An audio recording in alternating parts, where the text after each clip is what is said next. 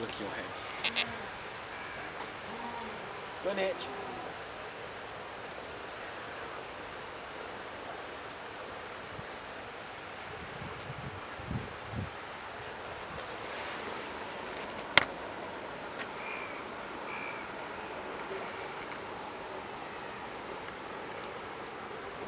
I'd say this weather's actually like Quite the nice. best weather because if it's too hot, it's horrible.